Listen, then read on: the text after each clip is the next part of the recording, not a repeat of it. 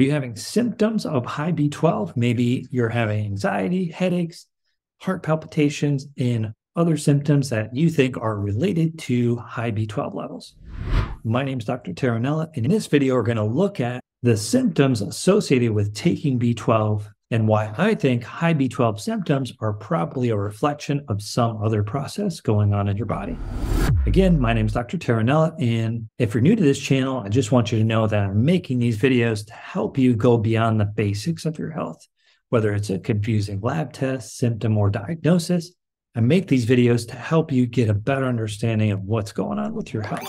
So if you like this kind of information on nutrition, lab tests, hormones, just trying to get a better understanding of what's going on with your health, click on the like button and subscribe to the channel to get more videos like this one. Now for a quick disclaimer, the information in this video is for informational purposes only. It's not intended as a treatment for any health condition or as a substitute for seeing an actual doctor or medical professional. It should be used as an educational guide to deeper your understanding of your own health and treatment success. If medical attention is needed, don't delay in seeking that attention. All right, let's look at symptoms of high B12. So the thing is, high B12 levels should not actually cause symptoms. However, there are two things to note about this question or concern of high B12 levels and symptoms. The first is vitamin B12 supplementation, whether it's an injection, taking by mouth, or under the tongue, can cause side effects. It's not very common, but it can happen. This can be symptoms like anxiety, heart palpitations, headaches, etc. These symptoms can occur even when you take a small dose of vitamin B12. So it's typically not from high B12 levels, but something intrinsic with how that person is processing the vitamin B12. And sometimes it could be the type of B12 too.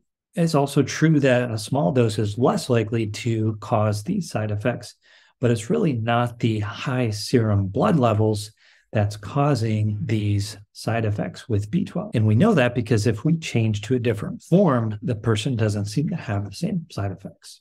The other thing is that high B12 levels in and themselves do not cause symptoms typically. However, high B12 blood levels can be a sign of some other problem going on. Just to be clear, a high level of B12 in your blood does not tell us that you have a problem, but it may be an indicator of a problem. What problem might that be? Well, there's a lot of possibilities. One being mast cell activation syndrome, which can cause a wide array of different symptoms, including anxiety, heart palpitations, headaches, hives, skin rash, etc. B12 side effects are also more common in people with mast cell activation syndrome. So, symptoms of high B12 may be a reflection of something else going on in your body and if you have high B12 levels and you're having certain symptoms going on, maybe it has more to do with something internally going on and not the B12 itself. So if you have these symptoms going on and you're thinking that it's the B12 causing the symptoms, you may be looking in the wrong place. So, how did I do? Does that give you a better understanding of the symptoms of high B12 and what some other relationships are between those symptoms and other possible things going on?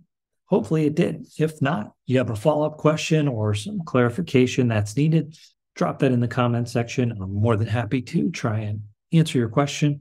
Thanks again for watching. We'll see you next time.